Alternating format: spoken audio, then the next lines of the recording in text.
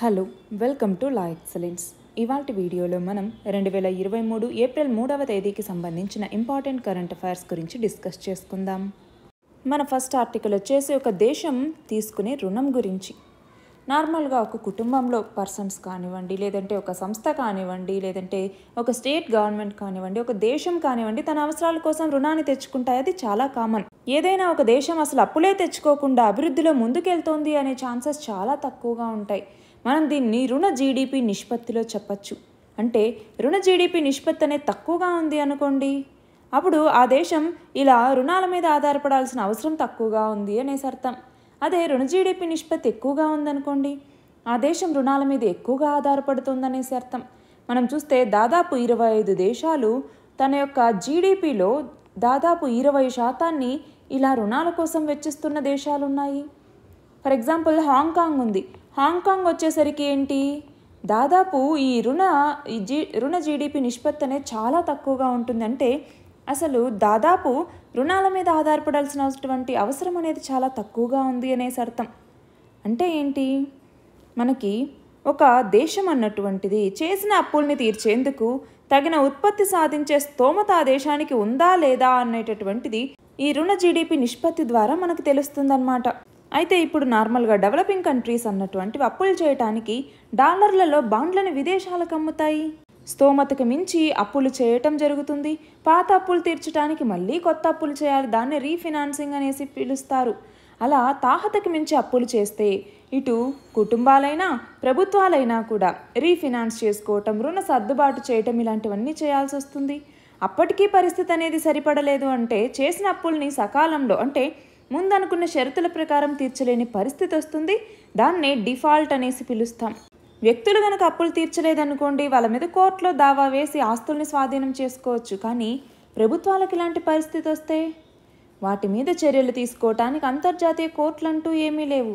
కానీ దానివల్ల ప్రతిష్టంభన అనేది ఏర్పడుతుంది. చాలా సంవత్సరాల పాటు ఆ దేశం ఆర్థిక ఆ దేశ ఆర్థిక వ్యవస్థ మీద ప్రభావం అనేటటువంటిది పడుతుంది.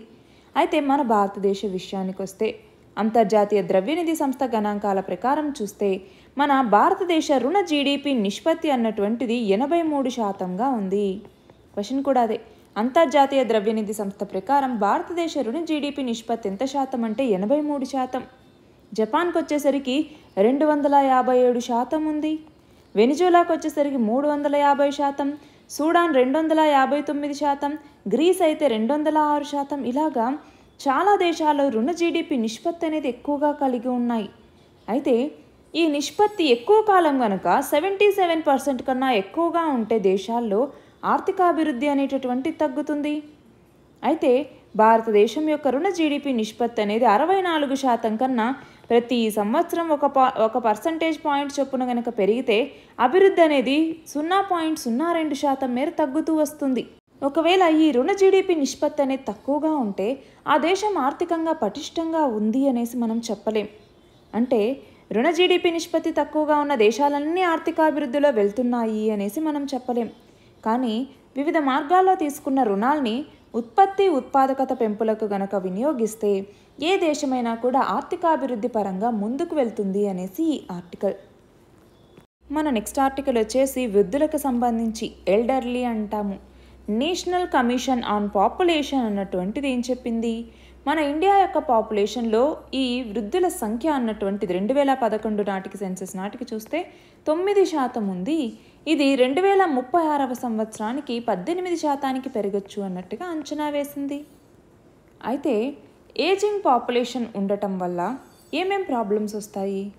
ఒకటి సోషల్గా ప్రాబ్లమ్స్ అనేవి వస్తాయి. ఏంటి? ట్రెడిషనల్ వాల్యూస్ ఇన్స్టిట్యూషన్స్ ఇవన్నీ కూడా మనం అడాప్ట్ చేసుకోవటంలో ఏంటి? ఇంటర్ జనరేషనల్ టైస్ ఏవైతే ఉంటాయో ఇవి వీకెన్ అవుతూ వస్తూ ఉన్నాయి.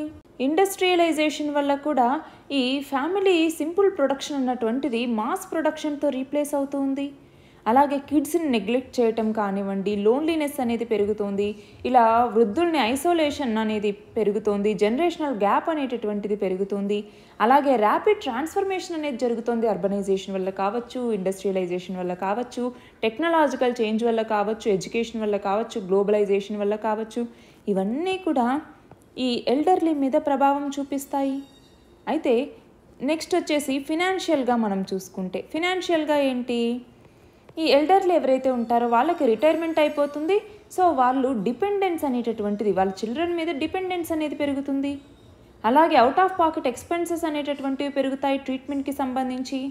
Young working age persons rural areas నుంచి వేరే ఏరియాస్కి వెళ్ళిపోవటం వల్ల వీళ్ళ మీద నెగిటివ్ ఇంపాక్ట్ అనేది పడుతుంది. అలాగే హౌసింగ్ ఫెసిలిటీ అనేది సరిగ్గా లేకపోవటం వల్ల ఇబ్బందులు అనేవి పడతారు. అలాగే హెల్త్కి సంబంధించి కూడా వాళ్ళు అప్పటికే బాగా ఓల్డ్ అయిపోతారు కాబట్టి బ్లైండ్నెస్ అనేది లోకోమోటార్ డిసబిలిటీస్ డెఫ్నెస్ అలాగే మెంటల్ ఇల్నెస్ అనేది రావటం న్యూరోసిస్ అనేది రావటం అలాగే మనం చూస్తే ఈ జెరియాట్రిక్ కేర్ ఫెసిలిటీస్ అనేవి సరిగ్గా హాస్పిటల్స్లోనూ రూరల్ ఏరియాస్లోనూ లేకపోవటం ఇవన్నీ కూడా ఇబ్బందులే. అయితే మన ఇండియాకి సంబంధించి సోషల్ అసిస్టెంట్ స్కీమ్ అన్నటువంటి దాన్ని తీసుకొచ్చారు. దాన్ని నేషనల్ సోషల్ అసిస్టెంట్ ప్రోగ్రామ్ అన్నటువంటి స్కీమ్ అనమాట మినిస్ట్రీ ఆఫ్ రూరల్ డెవలప్మెంట్ అన్నటువంటిది దీన్ని చూసుకుంటుంది. ఇది కాకుండా ఇంకా ఏమేం స్కీమ్స్ తీసుకొచ్చారు? క్వశ్చన్ అదే. భారత ప్రభుత్వం ప్రత్యేకంగా సీనియర్ సిటిజన్ల కోసం ప్రకటించిన పథకాలని తెలపండి అంటే ఏమేమి ఉన్నాయి?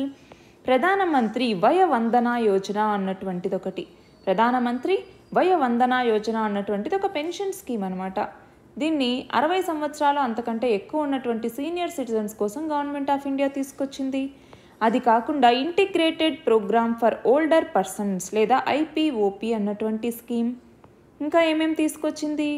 రాష్ట్రీయ వయోశ్రీ యోజన అన్నటువంటిది. దీని కింద ఏంటి? సీనియర్ సిటిజన్స్కి వెల్ఫేర్ ఫండ్ కోసం ఈ ఫండ్ని టూ థౌజండ్ సిక్స్టీన్లో నోటిఫై చేయటం జరిగింది. అలాగే సంపన్ అనేటటువంటి ఒక ప్రాజెక్ట్ని తీసుకొచ్చారు. ఏంటి?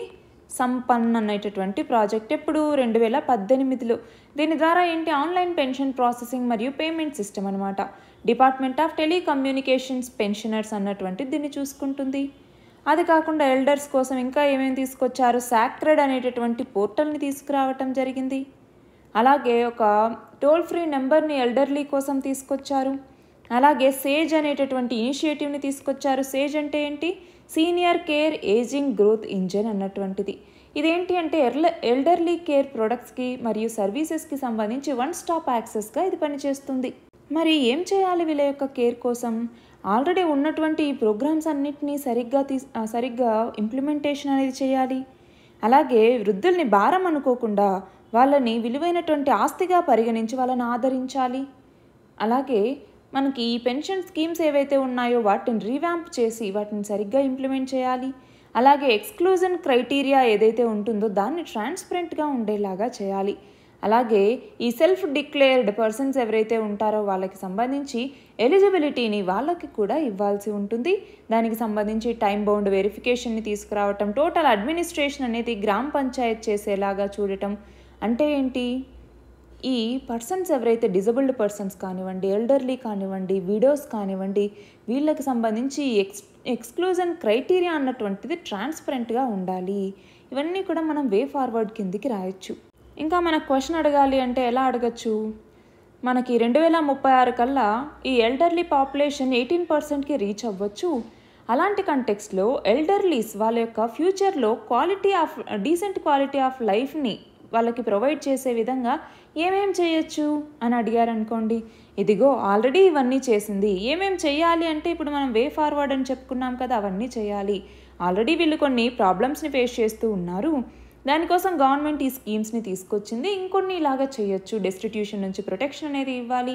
పెన్షన్ స్కీమ్స్ని రీవ్యాంప్ చేసి దాని మీద ఫోకస్ అనేది పెట్టాలి. ఆల్రెడీ ఉన్న స్కీమ్స్ని సరిగ్గా ఇంప్లిమెంట్ చేయాలి. అలాగే ఎక్స్ ఎక్స్క్లూజన్ క్రైటీరియాని ట్రాన్స్పరెంట్గా ఉంచాలి. ఇవన్నీ కూడా మనం ఇక్కడ మెన్షన్ చేయొచ్చు. మన నెక్స్ట్ ఆర్టికల్ వచ్చేసి మయన్మార్లో ఎన్నికలకి సంబంధించి. ఇక్కడ మయన్మార్కి సంబంధించి ఎన్నికల నిర్వహణకి జుంటా నేతృత్వంలో ఉన్నటువంటి ప్రభుత్వం ఇప్పుడు సానుకూలత అనేది చూపిస్తోంది. వచ్చే ఆగస్టులో ఎన్నికలని పూర్తి చేయబోతోంది. దానికి రీజన్ ఏంటి? ఒకటి మయన్మార్లో రాజకీయ పార్టీల యొక్క నమోదు విషయంలో సైనిక పాలకులు ఈ సంవత్సరం జనవరిలో ఒక చట్టాన్ని తీసుకొచ్చారు. దాని ప్రకారం జైలు శిక్ష అనుభవిస్తున్న నేతలెవరినీ కూడా పార్టీలు తమ సభ్యులుగా ఉండనివ్వకూడదు. అలాగే చట్ట వ్యతిరేకమైనవి అనేసి సైన్యం ముద్రేసిన ఏ సంస్థతోనూ సంబంధాలు పెట్టుకోకూడదు.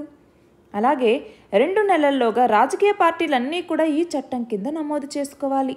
అయితే ఆల్రెడీ ఆంగ్సన్ సూచి సూచీ నేతృత్వంలో ఉన్నటువంటి ఈ నేషనల్ లీగ్ ఫర్ డెమోక్రసీతో సహా ఇంకొన్ని పార్టీలు తమ రిజిస్ట్రేషన్ని పునరుద్ధరించుకోవటానికి ఆసక్తి చూపించట్లేదు. అయితే సైనిక ప్రభుత్వం మోపిన కేసుల వల్ల ఆంగ్సన్ సూచి ఇప్పుడు ముప్పై మూడేళ్ళ జైలు శిక్షను అనుభవిస్తూ ఉన్నారు. ఆమెను పూర్తిగా రాజకీయాలకు దూరం చేయాలి అన్నటువంటి ఉద్దేశంతోనే కొత్త చట్టాన్ని తీసుకొచ్చారు. అయితే ఇక్కడ మనకేం తెలియాలి? అసలు మయన్మార్కి మన భారతదేశానికి మధ్య సంబంధాలు ఎలా ఉన్నాయి అన్నటువంటి తెలియాలి. ఇక్కడ క్వశ్చన్ చూడండి. మయన్మార్ భారతదేశం యొక్క ఈశాన్య రాష్ట్రాలైనటువంటి నాగాలాండ్ మరియు మణిపూర్లతో ఎన్ని కిలోమీటర్ల సరిహద్దును పంచుకుంటోంది అంటే పదహారు వందల నలభై కిలోమీటర్లు. అయితే మన భారతదేశానికి మయన్మార్కి సంబంధించి చూస్తే మయన్మార్ మనకెందుకు ఇంపార్టెంట్ అంటే ఒకటి మన యొక్క నైబర్హుడ్ ఫస్ట్ పాలసీలో కానివ్వండి యాక్ట్ ఈస్ట్ పాలసీలో కానివ్వండి అలాగే సాగర్ విజన్లో కానివ్వండి ఏంటి? ఈ సాగర్ విజన్లో భాగంగా మనము మయన్మార్లోని రఖైన్ స్టేట్స్లో సిత్వే పోర్ట్ని డెవలప్ చేస్తూ ఉన్నాము. చైనీస్ అన్నటువంటిది అక్కడ ఉన్నటువంటి క్యాప్ క్యూ పోర్ట్ని ఇక్కడ డెవలప్ చేస్తూ ఉంది. మనమేమో సిత్వే పోర్ట్ని డెవలప్ చేస్తూ ఉన్నాము. అంటే మనం చూస్తే ఇటు చైనా మయన్మార్ని తన వైపుగా లాక్కోవటానికి చాలా ఇన్వెస్ట్మెంట్ అనేది అక్కడ పెడుతూ వస్తుంది. జపాన్ సౌత్ కొరియా అలాగే చాలా ఏషియన్ కంట్రీస్ కూడా ఇలాగా ఈ మయన్మార్కి సంబంధించి మిలిటరీ జుంటా ఏదైతే ప్రభుత్వం ఉందో దాంతో సంబంధాలని ముందుకు తీసుకెళ్ళాలి అనేసి చాలా దేశాలు ముందుకు వస్తూ ఉన్నాయి. కాంబోడియన్ ప్రైమ్ మినిస్టర్ కూడా రెండు వేల ఇరవై రెండులో మయన్మార్ని విజిట్ చేయటం జరిగింది. కొత్త కొత్త సంబంధాన్ని పునరుద్ధరించుకోవాలి అన్నట్టుగా వాళ్ళు ముందుకెళ్తూ ఉన్నారు. మరి మయన్మార్కి మనకి సంబంధించి ఛాలెంజెస్ ఏంటి అంటే ఇప్పుడే చెప్పాము ఇక్కడ నాగాలాండ్ మణిపూర్ వీటితో సరిహద్దుల్ని పంచుకుంటూ ఉంది. అయితే నార్త్ ఈస్ట్ ఇన్సర్జెన్సీకి సంబంధించి చైనా యొక్క ఇన్ఫ్లుయెన్స్ అనేటటువంటిది ఉంది. చైనా మయన్మార్ ఎకనామిక్ కారిడార్ ద్వారా మన భారతదేశం మీద ఫోకస్ చేస్తూ ఉన్నారు అంటే మన నార్త్ ఈస్ట్లో ట్రబుల్ని క్రియేట్ చేయటానికి చైనా ప్రయత్నిస్తోంది. అలాగే రోహింగ్యా క్రైసిస్ అన్నటువంటిది మయన్మార్లో ఉంది. మనకి సంబంధించి కూడా రోహింగ్యా ఇష్యూ అన్నటువంటిది నడుస్తోంది. అలాగే ఇండో మయన్మార్ బార్డర్ అన్నటువంటిది చాలా పోరస్గా ఉంటుంది. అది క్రాస్ బార్డర్ మూమెంట్కి ఇల్లీగల్ ఆర్మ్స్ డ్రగ్స్ ఇలాంటి వాటన్నింటికీ కూడా. మనం చూస్తే దాదాపు పదహారు వందల నలభై మూడు కిలోమీటర్లు అని చెప్పొచ్చు. అప్రాక్సిమేట్గా పదహారు వందల నలభై కిలోమీటర్లు. ఇంత బార్డర్ ద్వారా ఏంటి? ఇల్లీగల్ ఆర్మ్స్ కానివ్వండి డ్రగ్స్ కానివ్వండి మనీ కా ఫేక్ కరెన్సీ కానివ్వండి అలాగే క్రాస్ బార్డర్ మూమెంట్ కానివ్వండి ఇవన్నీ జరుగుతూ ఉన్నాయి. ఇండియన్ ఇన్సర్జెంట్ గ్రూప్స్కి సంబంధించి ఇలాగా ఈ ఆయుధాలని సప్లై చేయటం లాంటివి చేస్తూ ఉన్నారు. ఇవన్నీ కూడా రెండు దేశాలకి మధ్య ఉండేటటువంటి ఛాలెంజెస్ మరేం చేయాలి? ఇండియా అన్నటువంటిది ఆ దేశ మిలిటరీతో యాక్టివ్గా ముందుకెళ్ళాల్సిన అవసరం అనేది ఉంది. కల్చరల్ డిప్లొమసీని మనం అంటే ఏంటి? బుద్ధిస్ట్ సర్క్యూట్ ఇనిషియేటివ్ ఏదైతే ఉందో ఈ బుద్ధిస్ట్ మెజారిటీ మయన్మార్కి సంబంధించి మళ్ళీ రిజనేట్ అయ్యేలాగా చూసుకోవాలి. అలాగే ఇండియాస్ డిప్లొమాటిక్ టైస్ని రెండు దేశాల మధ్య పెంపొందించుకోవాలి. రోహింగ్యా ఇష్యూని రెండు దేశాలు కలిసి రిజాల్వ్ చేసుకోవాలి. మన నెక్స్ట్ ఆర్టికల్ చూడండి. అటవీ వనరులు సంరక్షణ గురించి. మన దేశంలో మనం చూస్తే పంతొమ్మిది వందల ఎనభై ఏడు నుంచి ప్రతి రెండు సంవత్సరాలకు ఒకసారి ఫారెస్ట్ సర్వే ఆఫ్ ఇండియా అడవుల లెక్కల్ని సేకరిస్తోంది. అయితే రెండు వేల ఇరవై ఒకటిలో Indian state of forest report లేదా ఐఎస్ఎఫ్ఆర్ అన్నటువంటిది చేపట్టడం జరిగింది. ఈ రెండు వేల ఇరవై ఒకటి ఐఎస్ఎఫ్ఆర్ రిపోర్ట్ ప్రకారం మన దేశంలో ఏడు లక్షల పదమూడు వేల ఏడు వందల ఎనభై తొమ్మిది చదరపు కిలోమీటర్ల మేర అడవులు అనేవి ఉన్నాయి. అంటే మన దేశ వైశాల్యంలో ఇరవై ఒకటి పాయింట్ ఏడు శాతం అడవులు ఉన్నాయి అయితే రెండు వేల పదిహేడు నాటికి ఐఎస్ఎఫ్ఆర్ లెక్కలతో పోలిస్తే పదహైదు వందల నలభై చదరపు కిలోమీటర్ల మేర అటవీ విస్తీర్ణం అనేది పెరిగింది. అయితే ఈ పెరుగుదల అనేది అత్యధికంగా ఆంధ్రప్రదేశ్లో ఆ తర్వాత తెలంగాణలో ఆ తర్వాత ఒడిషాలో జరిగింది. అయితే అడవులకు సంబంధించి ఉష్ణమండల సతత హరితారణ్యాలు అనేసి అలాగే ఉష్ణమండల ఆకురాల్చు అడవులు అనేసి అలాగే ఉష్ణమండల లేదా ఎడారి పొదలు అనేసి హిమాలయ పర్వత అడవులు అని మడ అడవులు అనేసి ఇలా వివిధ రకాలుగా కేటగరైజ్ చేస్తాము. అలాగే మన దేశంలో ఈ విస్తరణ అనేది అడవుల విస్తరణ ఎలా ఉంది అనేసి చూస్తే ప్రపంచంలో అత్యధిక అడవులు ఉన్నటువంటి దేశాల్లోకి వచ్చేసరికి మొదటి స్థానంలో రష్యా ఉంది.